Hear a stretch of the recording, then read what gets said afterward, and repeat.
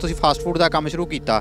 ਤੁਹਾਡੇ ਜਿਹੜੇ ਮਿੱਤਰ ਸੱਜਣ ਸੀ ਤੁਹਾਡੇ ਨਾਲ ਪੜ੍ਹਦੇ ਕਲਾਸਮੇਟ ਉਹਨਾਂ ਨੇ ਇੱਕ ਵਾਰ ਤੁਹਾਡਾ ਮਜ਼ਾਕ ਉਡਾਇਆ ਹੋਣਾ ਗਲੀ ਦੇ ਮੁਹੱਲੇ ਦੇ ਮੁੰਡਿਆਂ ਨੇ।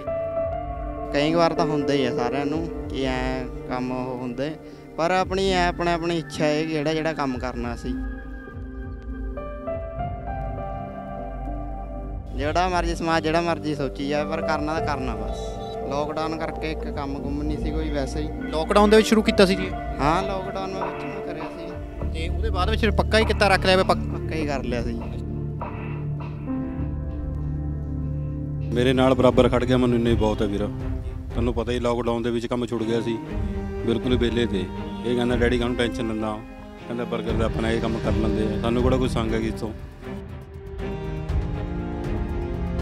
ਬੱਚੇ ਦੀ ਆਪਣੇ ਆਪ ਮੈਂਟੈਲਿਟੀ ਇਸ ਤਰ੍ਹਾਂ ਦੀ ਬਣ ਗਈ ਕਿ ਬੱਚਾ ਆਪਣੇ ਆਪ ਕਿੱਤੇ ਵਿੱਚ ਲੱਗ ਰਿਹਾ ਆ। ਤਾਂ ਸਾਨੂੰ ਮਾਣ ਵੀ ਇਹਨਾਂ ਤੇ ਬਹੁਤ ਮਹਿਸੂਸ ਹੁੰਦਾ ਹੋਣਾ। ਜ਼ਿਆਦਾ ਮਾਣ ਹੈ ਵੀਰ ਜੀ। ਕਿਉਂਕਿ ਸਾਡੇ ਬਾਬੇ ਦੇ ਦਾ ਗੁਰਦੁਆਰੇ ਦਾ ਪੂਰਾ ਹੱਥ ਹੈ ਸਿਰ ਤੇ।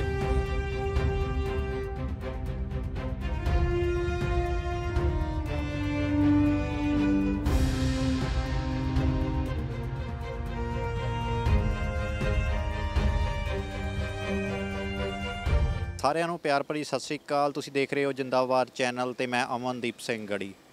ਨਾ ਇਹ ਹੱਟੀਆਂ ਤੋਂ ਮਿਲਦੇ ਨੇ, ਨਾ ਦੇਵੇ ਕੋਈ ਹੋਕਾ। ਫੇਰ ਦੱਸੋ ਜਜਵੇ ਖਰੀਦ ਕਿੱਥੋਂ ਲਈਏ? ਸੋ ਸਤਿੰਦਰ ਸਰਤਾਜ ਦੀਆਂ ਇਹ ਸਤਰਾਂ ਨੇ ਗੱਲ ਕਰ ਲਈਏ ਜਜ਼ਬਿਆਂ ਦੀ। ਅੱਜ ਅਜਿਹੇ ਤੁਹਾਨੂੰ ਇੱਕ ਸ਼ਖਸੀਅਤ ਨਾਲ ਮਿਲਾਵਾਂਗੇ, ਜਿਨ੍ਹਾਂ ਦਾ ਜਜ਼ਬੇ ਦੇ ਨਾਲ ਜਿਹੜੇ ਅੱਗੇ ਵਧ ਰਹੇ ਨੇ, ਜ਼ਿੰਦਗੀ ਨੂੰ ਜਿਉਣਾ ਸਿਖਾ ਰਹੇ ਨੇ। ਸੋ ਅੱਜ ਅਸੀਂ ਪਹੁੰਚੇ ਹੋਏ ਆ ਪਿੰਡ ਧਨਾਸ ਦੇ ਵਿੱਚ, ਜਿੱਥੇ ਇੱਕ ਵੀਰ ਆ 12ਵੀਂ ਕਲਾਸ ਦੇ ਵਿੱਚ ਪੜ੍ਹਦੇ ਨੇ। ਨਾਲ ਨਾਲ ਆਪਣੇ ਪੇਰੈਂਟਸ ਦੀ ਫਾਈਨੈਂਸ਼ੀਅਲ ਕੰਡੀਸ਼ਨ ਜਿਹੜੀ ਘਰ ਦੀ ਆ, ਉਹਨੂੰ ਸਹੀ ਕਰਨ ਦੇ ਲਈ, ਉਹਨੂੰ ਸਾਂਭਣ ਦੇ ਲਈ ਆਪਣੇ ਪਰਿਵਾਰ ਦੀ ਜਿਹੜੀ ਆ ਮਦਦ ਕਰਦੇ ਨੇ। ਸੋ ਮੈਂ ਕੈਮਰਾਮੈਨ ਨੂੰ ਕਹੂੰਗਾ ਕਿ ਸਾਹਮਣੇ ਕੈਮਰਾ ਮਾਰੇ, ਸਾਹਮਣੇ ਦੇਖ ਸਕਦੇ ਹੋ ਇੱਕ ਵੀਰ ਲੱਗਿਆ ਹੋਇਆ ਆ। ਬਰਗਰਾਂ ਦੀ ਰੇੜੀ ਚਲਾਉਂਦਾ ਫਾਸਟ ਫੂਡ ਦਾ ਕੰਮ ਆ, ਨਾਮ ਰੱਖਿਆ ਵਾ ਗਗਨ ਫਾਸਟ ਫੂਡ ਵੀਰ ਸਾਡੇ ਨਾਲ ਜੁੜੇ ਆ, ਗੱਲਬਾਤ ਕਰਾਂਗੇ। ਸਭ ਤੋਂ ਪਹਿਲਾਂ ਸਵਾਗਤ ਆ ਜੀ ਸਾਡੇ ਚੈਨਲ ਉੱਤੇ ਜੀ। ਸਤਿ ਸ੍ਰੀ ਅਕਾਲ ਧੰਨਵਾਦ ਜੀ। ਵੀਰ ਸਭ ਤੋਂ ਪਹਿਲਾਂ ਮੇਰਾ ਸਵਾਲ ਹੈ ਜੀ ਫਾਸਟ ਫੂਡ ਦਾ ਕੰਮ ਕਰਦੇ ਉਮਰ ਵੀ ਥੋੜੀ ਹੈ ਦਾੜੀ ਮੁੱਛ ਵੀ ਚੰਗੀ ਤਰ੍ਹਾਂ ਮੂੰਹ ਤੇ ਨਹੀਂ ਕਿਸ ਤਰ੍ਹਾਂ ਮਨ ਦੇ ਵਿੱਚ ਖਿਆਲ ਆਇਆ ਜੀ? ਵੈਸੇ ਹੀ ਸ਼ੌਂਕ ਵਾਸਤੇ ਵਿਹਲੇ ਸੀ ਘਰਾਂ ਇਸ ਕਰਕੇ। ਅੱਛਾ ਜੀ। ਹੋਰ ਲੋਕਡਾਊਨ ਕਰਕੇ ਇੱਕ ਕੰਮ ਗੁੰਮ ਨਹੀਂ ਸੀ ਕੋਈ ਵੈਸੇ ਹੀ ਤੇ ਠੀਕ ਹੈ ਜੀ। ਕਰਨੇ ਵਾਸਤੇ ਜੀ। ਤੇ ਲੋਕਡਾਊਨ ਦੇ ਵਿੱਚ ਸ਼ੁਰੂ ਕੀਤਾ ਸੀ ਜੀ ਇਹ? ਹਾਂ ਲੋਕਡਾਊਨ ਵਿੱਚ ਮੈਂ ਕਰਿਆ ਸੀ।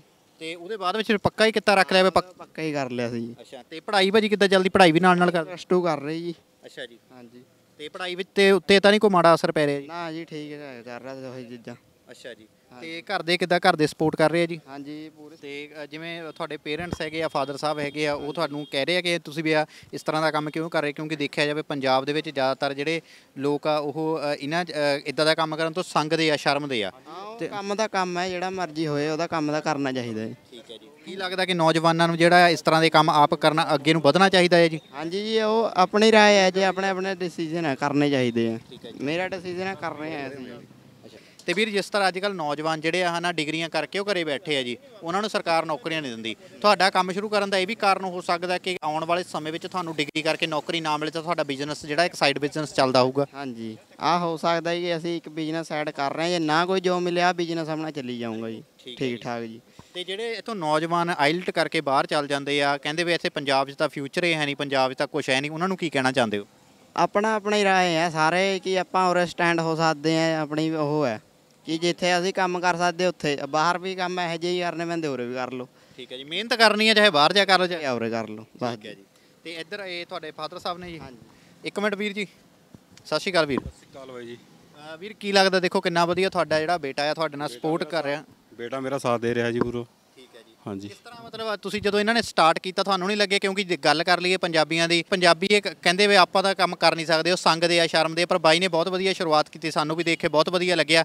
ਜਦੋਂ ਤੁਹਾਡੇ ਨਾਲ ਪਹਿਲੀ ਵਾਰ ਇਹਨਾਂ ਨੇ ਗੱਲਬਾਤ ਕੀਤੀ ਤੁਹਾਨੂੰ ਕਿਸ ਤਰ੍ਹਾਂ ਦਾ ਲੱਗਿਆ ਜੀ? ਮੇਰੇ ਨਾਲ ਬਰਾਬਰ ਖੜ ਗਿਆ ਮੈਨੂੰ ਇੰਨੇ ਬਹੁਤ ਹੈ ਵੀਰ।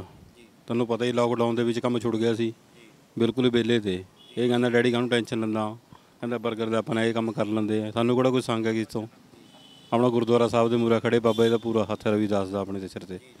ਕਰ ਰਹੇ ਆਰਾਮ ਤੇ। ਵੀਰ ਜਿੱਥੇ ਮਾਪਿਆਂ ਨੂੰ ਇਹ ਚਿੰਤਾ ਹੁੰਦੀ ਕਿ ਬੱਚਾ ਜਵਾਨ ਹੋਣਾ ਸ਼ੁਰੂ ਹੋ ਗਿਆ ਉਹਨੂੰ ਕਿਹੜੇ ਕਿੱਤੇ ਲਾਣਾ ਕੀ ਕਰੀਏ? ਕਿਉਂਕਿ ਸਭ ਤੋਂ ਬੱਚਿਆਂ ਮਾਪਿਆਂ ਨੂੰ ਡਰ ਹੁੰਦਾ ਕਿ ਬੱਚਾ ਗਲਤ ਸੰਗਤ 'ਚ ਨਾ ਪੈ ਜਾਵੇ। ਬੱਚੇ ਦੀ ਆਪਣੇ ਆਪ ਮੈਂਟੈਲਿਟੀ ਇਸ ਤਰ੍ਹਾਂ ਦੀ ਬਣ ਗਈ ਕਿ ਬੱਚਾ ਆਪਣੇ ਆਪ ਕਿੱਤੇ ਵਿੱਚ ਲੱਗ ਰਿਹਾ ਆ। ਤਾਂ ਸਾਨੂੰ ਮਾਣ ਵੀ ਇਹਨਾਂ ਤੇ ਬਹੁਤ ਮਹਿਸੂਸ ਹੁੰਦਾ ਹੋਣਾ। ਜ਼ਿਆਦਾ ਮਾਣ ਹੈ ਵੀਰ ਜੀ ਕਿਉਂਕਿ ਸਾਡੇ ਬਾਬੇ ਦੇ ਦਾ ਗੁਰਦੁਆਰੇ ਦਾ ਪੂਰਾ ਹੱਥ ਸਿਰ ਤੇ। ਠੀਕ ਹੈ ਨਾ? ਅਸੀਂ ਇਹਦੇ ਨਾਲ ਜੁੜੇ ਹੋਏ ਹਾਂ। ਹਾਂ ਤੇ ਵੈਸੇ ਵੀਰ ਤੁਹਾਡਾ ਕੀ ਸੁਪਨਾ ਕਿ ਆਉਣ ਵਾਲੇ ਸਮੇਂ ਵਿੱਚ ਚਲੋ ਇਹ ਤਾਂ ਤੁਸੀਂ ਨਾਲ ਨਾਲ ਕੰਮ ਕਰ ਰਹੇ ਹੋ ਵੀ ਆਉਣ ਵਾਲੇ ਸਮੇਂ ਵਿੱਚ ਤੁਸੀਂ ਪੜ੍ਹਾਈ ਕਰਕੇ ਕੀ ਸੁਪਨਾ ਦਾ ਲਿਆਉਣਾ ਵੀ ਡਾਕਟਰ ਬਣਨਾ ਟੀਚਰ ਆਈਪੀਐਸ ਆਈਪੀਐਸ ਐਗਜ਼ਾਮ ਦੀ ਤਿਆਰੀ ਕਰਨੇ ਨੂੰ ਸੋਚ ਰਹੇ। ਹਾਂਜੀ। ਮਤਲਬ ਕਲੀਅਰ ਕਰੋਗੇ ਜੀ ਆਈਪੀਐਸ ਵਗੈਰਾ? ਹਾਂ ਕਲੀਅਰ ਕਰ ਦੂੰਗੀ। ਠੀਕ ਹੈ ਜੀ। ਹਾਂਜੀ। ਸੋ ਕਹਿੰਦੇ ਨਾ ਮਿਹਨਤ ਨੂੰ ਫੁੱਲ ਫੁੱਲ ਲੱਗਦੇ ਹੁੰਦੇ ਆ। ਦੇਖੋ ਮਿਹਨਤ ਜਿਹੜੀ ਆ ਕਰ ਰਿਹਾ ਮੁੰਡਾ ਤੇ ਸੁਪਨਾ ਵੀ ਬਹੁਤ ਬੜਾ ਆ ਪਰ ਗੱਲ ਕੀ ਹੈ ਕਿ ਸਿਰਫ ਇੱਕ ਤਾਂ ਕਹਿੰਦੇ ਨਾ ਵੀ ਗੱਲਾਂ ਕਰਨੀਆਂ ਗੱਲਾਂ ਨਹੀਂ ਕਰ ਰਹੇ ਨਾਲ ਨਾਲ ਕਰਕੇ ਦਿਖਾ ਰਹੇ ਆ। ਤੇ ਉਮੀਦ ਆ ਸਾਨੂੰ ਇਹਨਾਂ ਕੋਲੋਂ ਕਿ ਹਾਂ, ਜ਼ਰੂਰ ਇਹ ਜ- ਜੇ ਆਈਪੀਐਸ ਕਹਿ ਰਹੇ ਤੇ ਆਈਪੀਐਸ ਬਣੂਗੇ ਵੀ ਜ਼ਰੂਰ ਜਿਹੜਾ। ਸੋ ਇਹ ਸਨ ਗਗਨਦੀਪ ਪਿੰਡ ਧਨਾਸ ਦੇ ਵਿੱਚ ਜਿਹੜੇ ਆ, ਫਾਸਟ ਫੂਡ ਦਾ ਜਿਹੜਾ ਕੰਮ ਕਰਦੇ ਆ ਨਾਲ ਨਾਲ ਸਟੱਡੀ ਵੀ ਕਰਦੇ ਆ, ਪਲੱਸ 2 ਜਮਾਤ ਵਿੱਚ ਪੜ੍ਹਦੇ ਆ ਤੇ ਸੁਪਨਾ ਬਹੁਤ ਬੜਾ ਆ ਆਈਪੀਐਸ ਬਣਨ ਦਾ। ਸ਼ੁਰੂਆਤ ਜਿਹੜੀ ਹੈ ਇੱਕ 버ਗਰਾਂ ਦੀ ਰੇਹੜੀ ਤੋਂ ਕਰ ਚੁੱਕੇ ਆ, ਆਪਣੀ ਜ਼ਿੰਦਗੀ ਵਿੱਚ ਜਿਹੜੀ ਮਿਹਨਤ ਦੀ ਸ਼ੁਰੂਆਤ ਆ।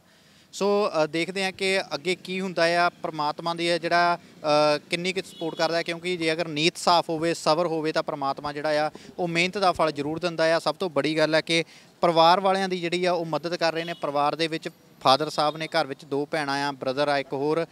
ਰਲ ਮਿਲ ਕੇ ਜਿਹੜਾ ਆ, ਇਹ ਕੰਮ ਚਲਾ ਰਹੇ ਨੇ। ਇੱਕ ਟਾਈਮ ਅਜਿਹਾ ਆਇਆ ਕਿ ਫਾਦਰ ਸਾਹਿਬ ਇਹਨਾਂ ਦੇ ਕਹਿੰਦੇ ਕਿ ਕੀ ਕਰੀਏ, ਕਿਉਂਕਿ ਲੋਕਡਾਊਨ ਦੇ ਵਿੱਚ ਸਾਰਿਆਂ ਦੇ ਕੰਮ ਜਿਹੜੇ ਆ, ਮੰਦੇ ਹੋ ਚੁੱਕੇ ਸਨ। ਰੋਟੀ ਖਾਣ ਤੱਕ ਦੇ ਜਿਹੜੇ ਲਾਲੇ ਪੈ ਚੁੱਕੇ ਸੀਗੇ। ਪਰ ਹੌਸਲਾ ਇਸ ਜਜ਼ਬਾ, ਇਸ ਵੀਰ ਦਾ ਦੇਖ ਸਕਦੇ ਹੋ, ਛੋਟੀ ਉਮਰ ਵਿੱਚ ਐਡੀ ਬੜੀ ਸੋਚ ਲੈ ਕੇ ਤੁਰਿਆ ਆ। ਸੋ ਲੋੜ ਆ ਅੱਜ ਕੱਲ ਅਜਿਹੇ ਨੌਜਵਾਨਾਂ ਨੂੰ ਅੱਗੇ ਆਉਣ ਦੀ, ਪੰਜਾਬ ਨੂੰ ਬਚਾਉਣ ਲਈ ਅਜਿਹੇ ਨੌਜਵਾਨਾਂ ਦੀ ਜ਼ਰੂਰਤ ਆ, ਜਿੱਥੇ ਕਹਿ ਦਿੰਦੇ ਕਿ ਸਿਰਫ ਯੂਪੀ ਬਿਹਾਰ ਤੋਂ ਆ ਕੇ ਇੱਥੇ ਲੋਕ ਜਿਹੜੇ ਆ ਇਸ ਤਰ੍ਹਾਂ ਦਾ ਫਾਸਟ ਫੂਡ ਵਗੈਰਾ ਦਾ ਕੰਮ ਕਰ ਸਕਦੇ ਆ।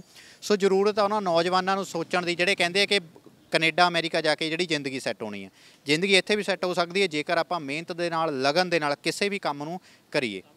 ਸੋ ਕੈਮਰਾਮੈਨ ਦੀਪ ਦੇ ਨਾਲ ਅਮਨਦੀਪ ਸਿੰਘ ਗੜੀ।